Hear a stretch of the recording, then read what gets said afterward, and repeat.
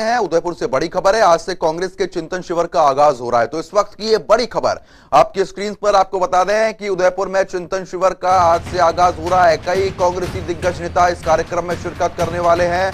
तीन दिनों तक चलेगा कांग्रेस का चिंतन शिविर। 2024 के खास तौर पर चुनाव को लेकर तैयारियाँ यहाँ पर की जाएँगी। उदयपुर पहुँच रहे कांग्रेस के तमाम नेता। तो इस वक्त की बड़ी खबर 12 बजे से कांग्रेस नेताओं का जुटना शुरू हो जाएगा। तो देखिए, ये तस्वीरें सामने आ चुकी है। चिंतन शिविर की शुरुआत उदयपुर से हो चुकी है तो इस वक्त की ये बड़ी जानकारी। तो इस खबर पर ज़्यादा अपडेट के साथ हमारे संवाददाता स्पर्श शर्मा हमारे साथ जुड़ गए हैं। स्पर्श, जिस तरीके से आज से चिंतन शिविर की शुरुआत हो रही है, सभी कांग्रेसी नेता एकजुट होते हुए नज़र आ रहे हैं। क्या कुछ अभी अपडेट मिल रही है?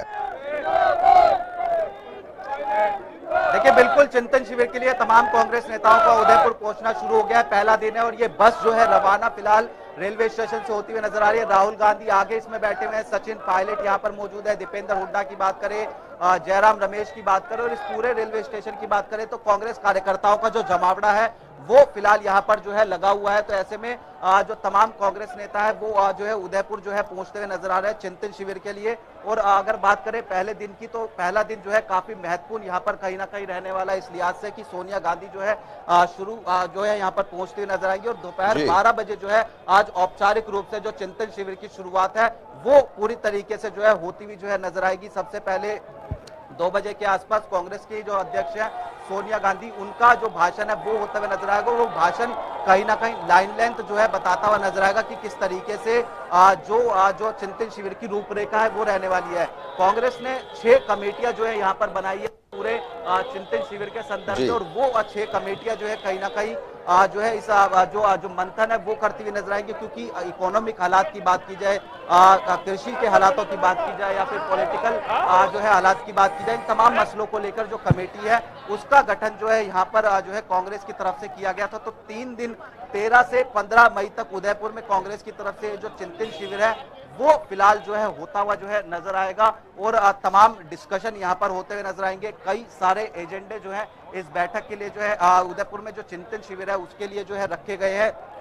केंद्र सरकार को किस तरीके से यहाँ पर घेरा जो है जाएगा वो भी जो है काफ़ी महत्वपूर्ण रहने वाला लेकिन फ़िलहाल अगर बात करते हैं तो राहुल गांधी यहाँ पहुँच चुके हैं छत्तीसगढ़ के मुख्यमंत्री भूपेश बघेल यहाँ पर पहुँच चुके हैं सचिन पायलट यहाँ पर पहुँच चुके हैं और तमाम जो दो बोगिया है वो आज जो है यहाँ पर जो है पूरी तरीके से आज जो है बुक की गई थी आज जो है दिल्ली दिल्ली से यहाँ जो है उदयपुर के लिए और उदयपुर में रेल के ज़रिए जो है तमाम जो जो जो जो कांग्रेस के नेता है वो यहाँ पर पहुँचते हुए जो है नज़र आए। फ़िलहाल जनता टीवी सबसे पहले ग्राउंड पर जो है पूरी तरीके से मौजूद है। और एक बार फिर से अगर हम रेलवे स्टेशन की यहाँ की तस्वीरें दिखाएँ तो यहाँ पर पूरी तरीके से जो तमाम कार्यकर्ता है वो आपको यहाँ पर जो है देखने को मिलते हुए जो है नज़र आ रहे होंगे। और ये तमाम कार्यकर्ता राहुल गांधी अपने नेता की यानी स्वागत के लिए जो है यहाँ पर पहुँचते हुए जो है नज़र आए थे।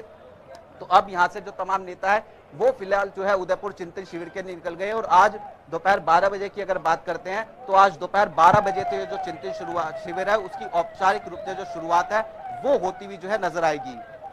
बिल्कुल स्पष्ट, क्योंकि जिस तरीके से देखने को भी मिल रहा है, जहाँ पर तमाम कार्यकर्ताओं ने भव्य स्वागत भी किया है, ऐसे में अभी और क्या कुछ तैयारियाँ देखने को मिल रही हैं, क्या कुछ प्रोग्राम रहने वाले हैं, उसकी अपडेट ज़रूर दीजिए। देखिए, बिल्कुल अगर इस उदयपुर चिंतन शिविर की बात करते हैं तो तीन दिन ये जो शिविर है, वो होता हुआ नज़र आएगा।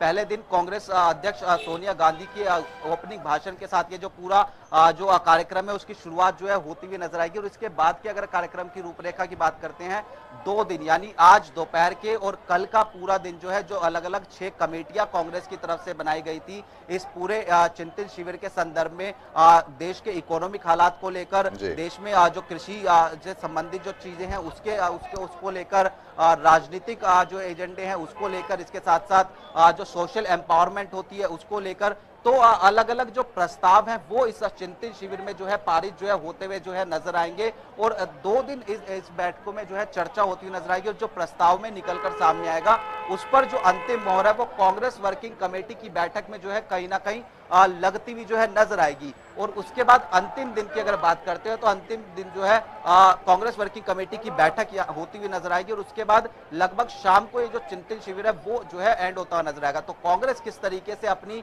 2024 की जो राह है लोकसभा चुनाव की, वो आज जो है निकालती हुई जो है नज़र आएगी। वो काफ़ी महत्वपूर्ण रहेगा। और उससे पहले अगर हम बात करें तो 2023 में भी कई राज्यों में चुनाव होने वाले हैं। सेमीफाइनल के तौर पर उससे सीधे तौर पर देखा जाएगा। तो कांग्रेस किस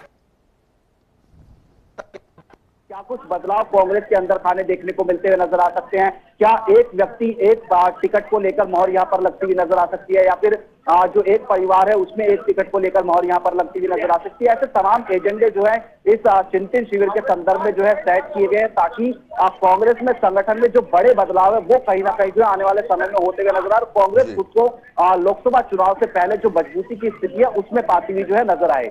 बिल्कुल इस पर देखिए 2024 की खास तौर पर तैयारी की जा रही है। साथ ही साथ पार्टी अपने आप को मज़बूत करने की बात यहाँ पर कहती है।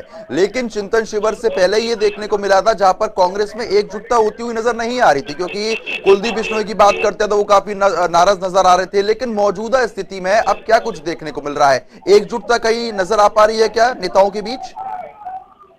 देखिए बिल्कुल कांग्रेस ये चाहेगी कि जो अब आने वाले तमाम चुनावों वहाँ पर एकजुटता दिखाने की कोशिश कहीं ना कहीं होती हुई नज़र और इसकी बानगी हमने किस तरीके से देखी? कहीं होती हुई नज़र और इसकी बानगी हमने किस तरीके से देखी?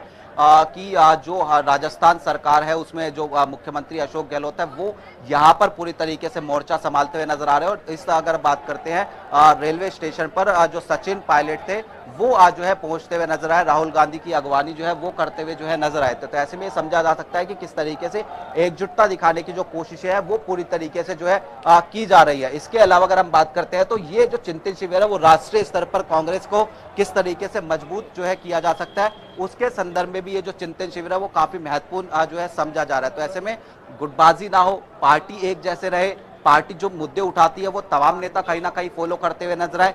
पार्टी महत्वपूर्ण हो ना कि लोगों की व्यक्तिगत महत्वाकांक्षा महत्वपूर्ण हो यही कहीं ना कहीं जो तमाम जो नेता है वो आज जो है इस चिंतन शिविर में मंथन करते हुए नज़र आएँगे और खासतौर पर जी ट्वेंटी थ्री ग्रुप जो कहता था कि सिर्फ़ जो कुछ लोग हैं उनकी कहीं ना कहीं पार्टी में जो है चलती हुई नज़र आती है। तो ऐसे में अब साढ़े चार सौ के आसपास करीब नेता इस चिंतन शिविर में जो है पहुँचते हुए जो है नज़र आ रहे हैं और तमाम लोग यहाँ पर मंथन जो है करते हुए नज़र आएँगे कि किस तरीके से जो जो जो पार्टी है उसको किस तरीके से मज़बूत किया जा सके, केंद्र सरकार को किस तरीके से घेरा जा सके, क्योंकि हर फ्रंट की बात करते हैं तो हर फ्रंट पर जो है सरकार को घेरने की कोशिश जो है, कांग्रेस कहीं ना कहीं जो है, करती हुई नज़र आ रही है, चाहे वो बेरोजगारी की बात की जाए या फिर अगर हम बात करें इकोनॉमिक हालात की बात की जाए, देश की सुरक्षा की बात की जाए, राष्ट्रवाद की बात की जाए लेकिन उसका इतना असर देखने को नहीं मिलता हुआ नज़र आता है और वो हमने देखा कि किस तरीके से जो पाँच राज्यों के चुनाव पिछले दिनों हुए थे वहाँ पर जो है देखने को मिलता हुआ नज़र आता कांग्रेस को कहीं ना कहीं करारी हार देखने को मिलती है। ऐसे में कांग्रेस के सामने जो राह है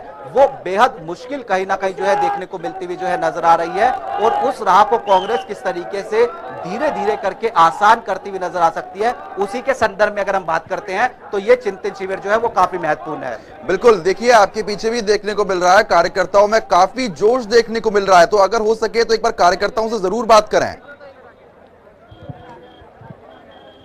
देखिए बिल्कुल अगर हम ये तस्वीरें दिखा देते तमाम जो कार्यकर्ता यहाँ पर देखने को मिलते हुए नज़र आ रहे हैं हम्म। ये तमाम कार्यकर्ता जो है यहाँ पर जो है पहुँचते हुए नज़र आ रहे हैं हालाँकि जो तमाम बड़े नेता थे वो यहाँ से जो है निकल चुके हैं उदयपुर चिंतन शिविर के लिए क्योंकि अगर हम बात करें तो कल देर को शाम को सात बजे के आसपास जो ये ट्रेन थी वो दिल्ली के सराय रोहिल्ला रेलवे स्टेशन से जो है निकलती हुई नज़र आई थी और लगभग लगभग 12 घंटे का सफ़र करते हुए जो है तमाम जो नेता है वो जो है जो है जो उदयपुर जो है पहुँचते हुए जो है नज़र आए। तो ऐसे में तमाम कार्यकर्ताओं में पूरी तरीके से जोश कहीं ना कहीं जो है यहाँ पर देखने को जो है मिलता हुआ जो है नज़र आ रहा है। और आ, कुछ आ, अगर लोगों से भी हम बात करने की कोशिश कर लेते हैं चूँकि पीसीसी टीम के सदस्य हैं। भाई साहब क्या कहना चाहेंगे? आ, जो बड़ा चिंतन शिविर है वो जो है कहीं ना कहीं सर मैं प्रदेश प्रवक्ता के रूप में आपको बताना चाहूँगा कि राजस्थान में बहुत उत्साह है हमारी धरती पे कार्यक्रम हो रहा है पूरे देश के कांग्रेस के लोग आए और आज यहाँ की धरती से मेवाड़ जो शूरवीरों की धरती एक मैसेज जाएगा पूरे देश में। मज़बूत होगी कांग्रेस मज़बूत होगी और इस नरेंद्र मोदी की महँगाई की सरकार को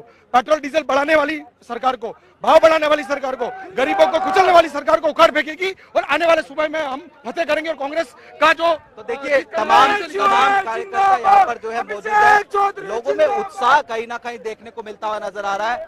चिंतन शिविर में किस तरीके से जो मंथन है कांग्रेस करती हुई नज़र है ताकि इन कार्यकर्ताओं का मनोबल जो है बढ़ा रहे। और सोनिया गांधी जो कांग्रेस के अंतरिम अध्यक्ष है उनकी तरफ़ से भी कहा गया था कि जो पार्टी होती है पार्टी में जो विरोध करने का जो अधिकार है वो सबको होता है लेकिन पार्टी में विरोध के ज़रिए कार्यकर्ताओं का मनोबल जो है ना टूटे, इसका जो ध्यान है वो तमाम नेताओं को रखना चाहिए। तो फ़िलहाल मनोबल इन तमाम जो नेता हैं यहाँ पर जो पहुँचे हुए हैं, उनका हाई देखने को मिलता हुआ जो है नज़र आ रहा है। लेकिन इसके साथ साथ अगर हम बात करें, चिंतन शिविर में जो एजेंडे हैं, वो पूरी तरीके से जो है डिस्कस होते हुए नज़र आएँगे और उसमें किस तरीके से चाहे वो गुटबाजी के संदर्भ में बात करते हैं या फिर अगर हम बात करें कि जो आज केंद्र सरकार को किस तरीके से आने वाले समय में हर मोर्चे पर घेरना है क्योंकि तमाम पूरे देश भर से करीब साढ़े चार सौ के आसपास जो कांग्रेस नेता है वो आज जो है उदयपुर चिंतन शिविर के लिए जो है पहुँचते हुए जो है नज़र आ रहा है। इसमें तमाम राज्यों की जो चीज़ें हैं वो कहीं ना कहीं जो है डिस्कशन होती है लेकिन स्पर्श इसमें खास बात ये भी है कि जिस तरीके से मज़बूत स्थिति में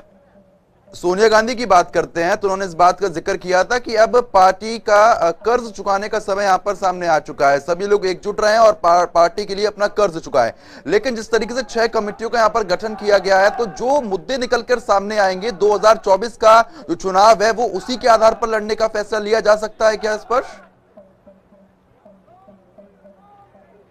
देखिए, बिल्कुल चिंतन शिविर से जो मंथन निकलेगा, वही कहीं ना कहीं एजेंडा सेट करेगा कि कांग्रेस की राह 2024 के लिए किस तरीके से रहने वाली है, क्या कुछ एजेंडे कांग्रेस 2024 में जो है उतरकर जो है जो है उतरती हुई जो है नज़र आएगी और कल कांग्रेस प्रवक्ताओं की तरफ़ से एक लंबी चौड़ी प्रेस कॉन्फ्रेंस जो है की गई थी। एक वीडियो भी जो है दिखाई गई थी जिसमें साफ़ तौर पर बताया गया कि जो केंद्र सरकार है वो हर मोर्चे पर कहीं ना कहीं फेल जो है नज़र आ रही है। चाहे वो जो रोज़गार देने की बात हो रोज़गार जो है हम्म। लोगों को नहीं मिलता हुआ नज़र आता है। बेरोजगारी लगातार बढ़ती हुई नज़र आ रही है महँगाई लगातार जो है बढ़ती हुई नज़र आ रही है सब चीज़ों के दाम जो है वो लगातार जो है बढ़ते नज़र आ रहे हैं। पेट्रोल डीजल गैस सिलेंडर खाने के तेल इन तमाम चीज़ों के दाम जो है बढ़ते हुए कहीं ना कहीं नज़र आ रहे हैं। इसके साथ साथ अगर हम बात करते हैं आर्थिक रूप से देश किस तरीके से जो है मज़बूत नहीं हो रहा है। डॉलर के रुपए जो जो मुकाबले जो रुपया है वो लगातार जो है गिरता हुआ जो है नज़र आ रहा है। इसके साथ साथ अगर हम बात करते हैं तो जो चीन जिस तरीके से जो घुसपैठ है वो करता हुआ नज़र आता है। तो ये कुछ एजेंडे जो है इस चिंतन शिविर के लिए जब कल प्रेस कॉन्फ्रेंस की गई तो, तो वहाँ पर ठीक है स्पर्श मैं आपको रोक रहा हूँ हमारे साथ बने रहिएगा। आगे भी हम लोग आपसे अपडेट लेते रहेंगे। तो फ़िलहाल चिंतन शिविर की शुरुआत आज से हो रही है।